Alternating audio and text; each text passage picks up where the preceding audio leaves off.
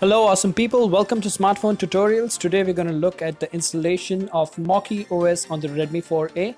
Let's begin.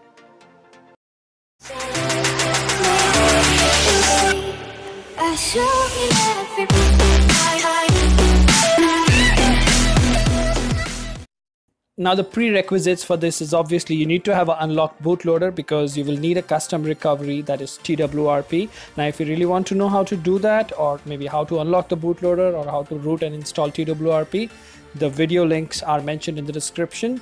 This is a golden Redmi 4A Indian variant and you need to download Mokee OS and Google Apps.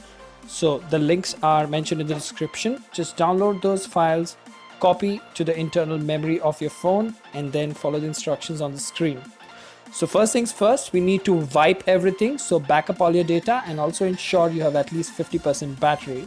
So Dalvik, cache, data and system. Do not wipe internal storage because that's where the files are located. Next up, you need to go to install, select the Mokee OS file and select OpenGApps or Google Apps. Now, obviously, you know, as always, this installation will take about three to five minutes. So please be patient while all the files are flashed. I'll get back to you once the flashing is done.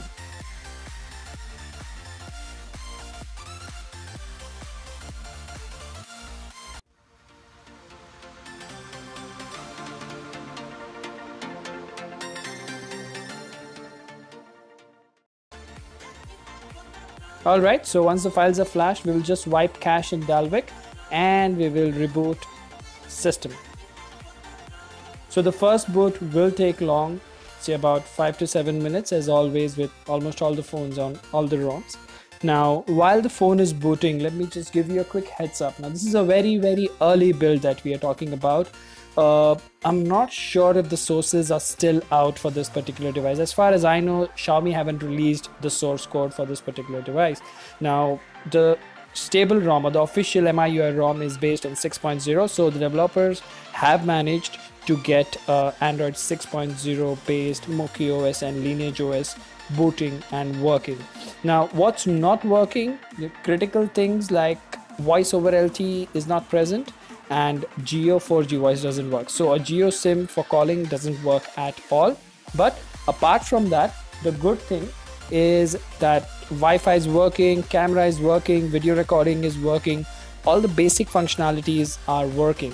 So you know if you're someone who likes to you know try different things on your phone and you want to give Mokee OS a try, then this is your chance. Just pack up everything, follow the instructions, flash this particular ROM and you know if you're not using Jio or if you don't use a SIM which uses voice over LTE, trust me you'll enjoy using this ROM.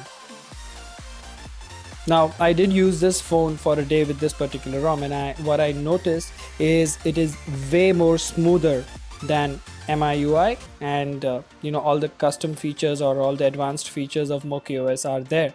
Now obviously this is an unofficial build so you will not be getting over the air updates but yes this was you know this this is just a quick preview of this rom. I'm waiting for all the bugs to be fixed so that i can do a detailed review of each and every custom rom just like i did for the redmi note 4 now apart from that uh, some highlights of this rom.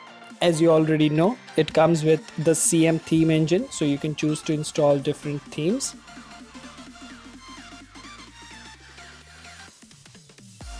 let's go to settings now. You can see Wi-Fi is working Bluetooth SIM cards are not inserted but yes everything works fine including calling apart from voice over LTE that is the theme engine that you have there. You can download different themes from the Play Store. And apart from that we have system profile status bar customization. You know you can customize from battery percentage to the look of the tiles and everything. This is a pre-rooted firmware so you don't have to root manually. Mokee Center this is where you would normally see the OTA or the over the air updates if it's an official version.